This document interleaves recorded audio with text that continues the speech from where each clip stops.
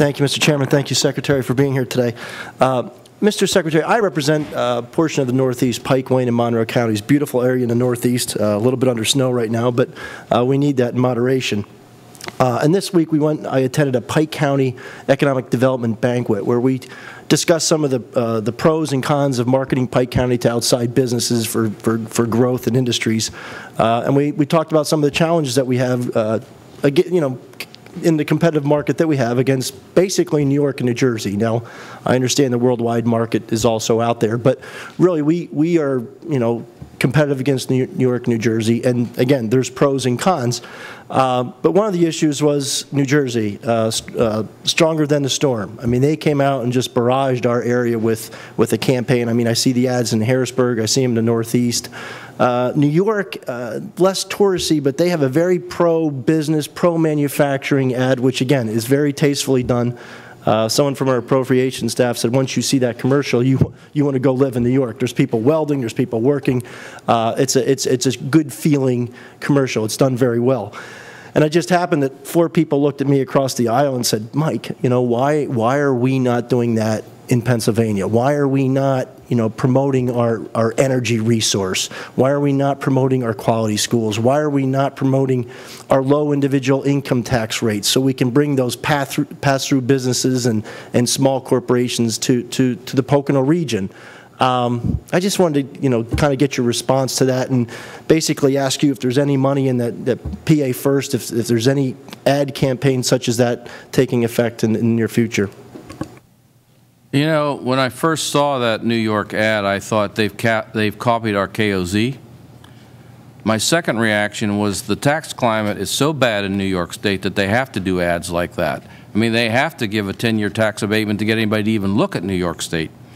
And from my perspective in this job, if New York State and New Jersey are our competition, we're going to win every time because the, the, tax structure in those states is so bad. I, I'm surprised that New York would would subsidize a campaign like that. I, I, I think that campaign is $50 million, but it's not targeted. And in Pennsylvania, we're trying to really target messages like you're talking about to site selection people and people who can really make a difference because you can spend a pile of money on a TV uh, campaign and it's, and it's not targeted. The interesting thing will be what's their success rate going to be. Right, and, and I think that's, you know, we're talking to Representative Mustio before about, you know, the, this is the new Pennsylvania. We're no longer the old Rust Belt Pennsylvania. Uh, we're the new Pennsylvania. And I think we need to get that out there with, um, again, it, it, we, we, don't know the outcomes. And, and to hear you say that you're, you're, you're, you're, you're focusing on uh, industry, industries which are, you know, favorable in our environment, I think that's uh, important to us. Um, along those lines, those ads, they'll also promote tourism. I mean, another, another way of reaching people to say, hey, look, uh, there's state parks in Pennsylvania, there's battlefields, there's beautiful cities, there's sports venues. Um, there's, there's a really good, happy feeling from that New York commercial. And maybe, again, maybe because their policies are so poor and, and they need to do that, but I'll tell you what, uh, it makes, makes people, you know, think pretty highly of New York when you, when you watch it.